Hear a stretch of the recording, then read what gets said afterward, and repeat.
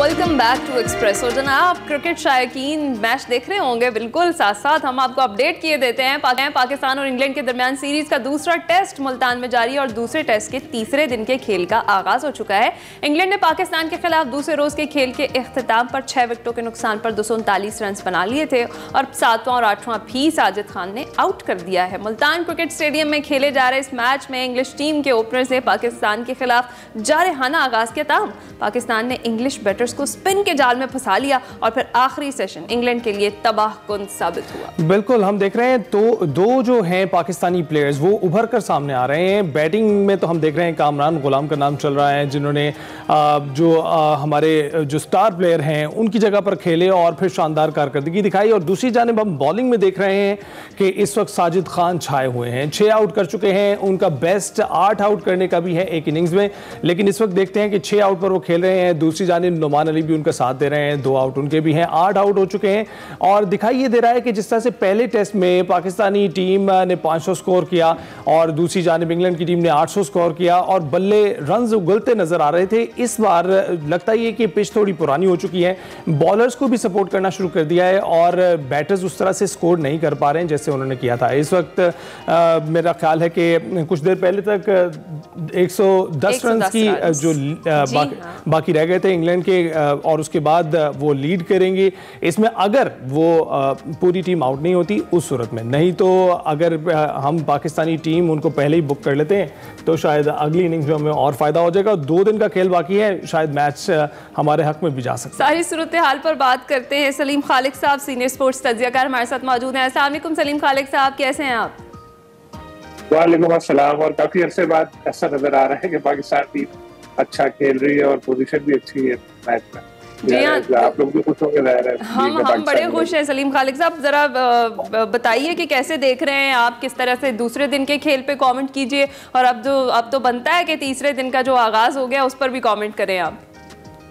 जी बिल्कुल पाकिस्तान के पास बहुत अच्छा मौका आ चुका है क्योंकि 110 रन पाकिस्तान वैसे ही आगे सेकेंड इनिंग में अगर पाकिस्तान ने 200 रन भी बनाए सपोज़ के पिच बहुत खतरनाक हो चुकी है और अभी ये दो विकेटें जल्दी ले ली तो फिर भी इंग्लैंड के लिए बहुत मसला हो जाएगा तीन सौ रन बनाना बहुत, क्योंकि खेला नहीं जा रहा उनसे पिच खतरनाक से खतरनाक होती जा रही है। आठवां दिन है इस एक पिच पर खेलते हुए और जब टेस्ट मैच की कोई पिच होती, चौथे, पाँचवें दिन उसमें क्रैक्स पड़ने शुरू हो जाते हैं। ये आठवां दिन है जिसपे गेम हो रहा है। तो ज़ाहिर है पिच बिल्कुल अनप्लेबल हो गई फिर इंग्लैंड क्रिकेट टीम का जो माइंड सेट है वो बैस बॉल जो वो कहते हैं कि मार धाड़ करो और उस चक्कर में वो लोग खेलने के लिए जाते हैं और फिर वो आउट होते जा रहे हैं यहाँ पे।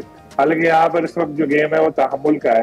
लेकिन आपने देखा होगा कि जो टेल एंडर आ रहे हैं वो भी किस तरह आउट हो रहे हैं। साथ में हमें साजिद को भी दाद देनी पड़ेगी हाँ, बड़ी ज़बरदस्त। उन्होंने बॉलिंग की और मैं भी टेलीविज़न पे समझ था आपने भी सुना होगा कि चौबीस साल बाद किसी पाकिस्तानी ऑफ़िस में ने पाँच विकेटें ली हैं टेस्ट इनिंग में और शायद पाकिस्तान में इस तरह का कोई रिकॉर्ड हो। बता रहे थे सकलैन मुश्ताक के बाद। जो भी रिकॉर्ड है लेकिन ये काफ़ी अच्छे बात एक चीज़ नज़र आई कि अपने स्ट्रेंथ के मुताबिक पाकिस्तान टीम ने खेलने की कोशिश की और अच्छा परफॉर्म कर रहे हैं और बहुत अरसे से हम लोग यहाँ दो ढाई साल हो गया गालिबन जीत नहीं तो, पा रहे होम ग्राउंड पे कोई टेस्ट तो सलीम साहब आप कैसे देखते हैं? तजर्बा मेरा ख्याल है कामयाब रहा है पाकिस्तानी टीम में जो इन्फ्लक्स किया है इन्होंने स्पिनर्स का। क्योंकि हम देख रहे थे अटैक बॉलिंग पेस अटैक से हम करवाते थे और ज़्यादातर दबाव हमारा नसीम शाह और शाहिन शाह अफरीदी पर ही होता था। हम कोशिश करते थे इन्हीं से वो जादू करवा लें जो हम पूरी टीम मिलकर नहीं कर पा रही हैं। आप देखते हैं कि साजिद खान की सूरत में हमारे पास एक आला क्वालिटी के स्पिनर भी आ गए हैं और जो आउट उन्होंने किए हैं वो आपके सामने ही है। तो आप देखते हैं कि ये जो तजर्बा रहा है स्पिनर्स के इन्फ्लक्स को, और ये देखने के लिए कि हमारे पास जो स्पिनर्स मौजूद हैं, किस स्पिनर को मुस्तकिल तौर पर टीम में खिलाया जा सकता है? देखिए, मैं थोड़ा सा आपसे फ्रेंकली बात करूँ तो देखें, इस वक्त हमारे पास जो सूरत हाल थी वो ये थी कि बस हमें जीतना है किसी भी हाल में, क्योंकि हारते जा रहे हैं मुसलसल, और कौम का शायद का मोराल भी डाउन है टीम का भी। तो इसलिए एक ऐसी अनयूजुअल डिसीज़न हुआ कि सारे चार स्पिनर खिलाए हमने चार स्पिनर रेगुलर टोटल सात स्पिनर हमारे पास है। और एक फास्ट बॉलर और उसके बाद शान मसूद को भी कहते हैं वो पेस बॉलिंग कर लेते हैं। एक अनयूजुअल डिसीज़न दूसरी चीज़ ये थी कि पिच ऐसी के जहाँ पर मैच हुआ था उसी पिच को दोबारा इस्तेमाल हम्म, करना। हम्म। तो बहुत बहुत अच्छा रहा ये एक मैच जीतने के लिए। हम्म। इंशाल्लाह अब तक की जो पोजीशन है वैसे तो पाकिस्तान टीम को भरोसा नहीं होता लेकिन उससे लगता है कि पाकिस्तान का बड़ा अच्छा मौका है अब देख रहे हैं कि पाकिस्तान की मज़बूत है पोजीशन जिस तरह से आठ बड़े प्लेयर्स उनके आउट हो गए। बिल्कुल बहुत मज़बूत पोजीशन है हम्म। लेकिन अब अगर पाकिस्तान ने ये मैच जीत भी लिया तो हम तीसरा टेस्ट भी इधर नहीं करा सकेंगे तीसरा टेस्ट फिर हमें पिंडी में जाना पड़ेगा हम्म। और वहाँ पर फिर इस तरह की स्पिन मिलना बहुत ज़्यादा मुश्किल होगा लेकिन अभी तो हमें इस मैच का सोचना चाहिए कि स्पिनर्स ने बड़ा अच्छा परफॉर्म करके हमें एक बहुत अच्छा प्लेटफॉर्म फराम कर दिया है कि अब बुधाना रास्ता पाकिस्तान की बैटिंग नाकाम भी हुई तो भी एक अच्छा चांस होगा पाकिस्तान के पास जीतने का लेकिन एटलीस्ट 200 रन तो पाकिस्तान को बनाने चाहिए और अभी जो मैं स्कोर कार्ड देख रहा हूँ हम्म। 105 रन इंग्लैंड पीछे है।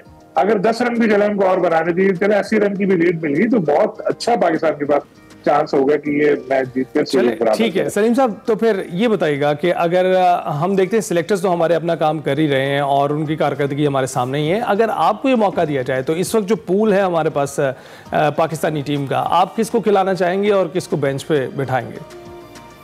देखिए पहले तो मैं एक साथ चारों को नहीं बिठाता। फिर सरफराज को उसमें से हटाए थे लेकिन ये बाबर को अभी जहाँ इतने मौके मिले थे एक मैच में जो है उनको बिठाने की बात हुई थी लेकिन सीरीज़ से पहले बिठाता ड्यूरिंग द सीरीज़ नहीं क्योंकि वो खेलना भी चाह रहे थे क्योंकि जो भी प्लेयर हो कामरान ने नो डाउट बहुत अच्छी इनिंग खेली लेकिन बाबर जिस तरह के प्लेयर है गॉड गिफ्टेड इतनी जल्दी उनको कोई भी ऐसा रिप्लेस नहीं कर सकता। हम्म। तो मैं बाबर को एकदम से सीरीज़ के बीच में नहीं निकालता दूसरा शाहीन और नसीम में से किसी एक को लें ज़रूर खिलाता। एक और आउट हो गया। आप आप सही पेश गोई कर रहे हैं कि से जो इसी स्मिथ आउट हो गए हैं जी, इसी पेस से अगर हम चलते रहे तो आज के खेल में हम जनाब छा जाएँगे। नुमान ने एक और विकेट ली है, तीसरी विकेट नुमान की। मतलब साजिद और नुमान ने ठान ली है मिलके कि वो अब ये सीरीज़ हमें जितवा कर रहेंगे किसी भी सूरत में। देखते हैं कि कैसी परफॉर्मेंस होती है। जी, सलीम खालिद साहब। जी तो मैं कहता शाहीन या नसीम में से किसी एक को भी खिलाता। और बाबर को फिर एटलीस्ट पूरी सीरीज़ तक तो रहता या फिर सीरीज़ से पहले निकाल था जहाँ आपने मुझसे पूछा। देखिए पाकिस्तान ने भी अपने डिसीज़न थोड़े चेंज किए ना। एक वक्त ऐसा था सीरीज़ में फिटनेस पे बहुत ज़्यादा ज़ोर दे रहे थे और पहले टेस्ट से पहले दो स्पिनर्स हमारे इन्हीं जो अभी इस टीम में शामिल हुए उनको वापस भेज दिया था कि ये फिट नहीं है क्योंकि उनको दो किलोमीटर जो दौड़ थी वो पूरा नहीं कर पाए थे आठ मिनट में। वापस भेज लेकिन फिर अब उनको वापस बुलाया ना आपसे क्योंकि जीतने का मकसद था। तो जब जीतना होता है तो फिर आउट ऑफ़ द बॉक्स सोचना पड़ता है। फिर जब आप उसूल और दूसरी चीज़ें बहुत सारी चीज़ों पे फिर वो कॉम्प्रोमाइज करना पड़ता है आपको। और ये सही है। अगर मैच फिट है और आपको जितवा रहे हैं मैच तो उनको प्लेयर को खिलाना अच्छा चाहिए। अब ये अब ये नौ आउट हो गए अब एक बाकी है और आपको आपको लगता है कि फॉलो ऑन करवाना चाहिए दूसरी इनिंग्स भी क्योंकि बॉलर्स अच्छा परफॉर्म कर रहे हैं। तो शायद इसके तसलसल को बरकरार रखने के लिए फिर से दोबारा मौका देना चाहिए इंग्लैंड की टीम को। और फिर आखिरी दिन अगर पाकिस्तानी टीम झपट ले तो शायद मैच काबू में आ जाएगा।